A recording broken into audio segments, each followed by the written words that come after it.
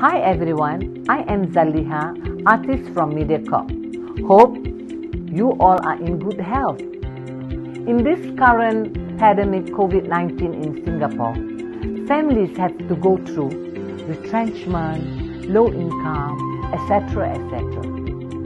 But my concern is about the future generation, that is, our children, our grandchildren, in their education, especially those who come from the lower income families who is struggling to survive and to bring up the children.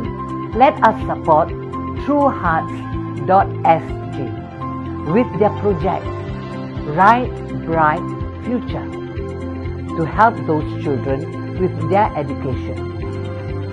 I hope this project can raise $100,000 to ease their burden and help them to focus in their studies.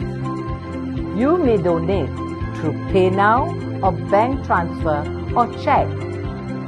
For more information, you may go to their website www.trueheartssg.org. I support truehearts.sg.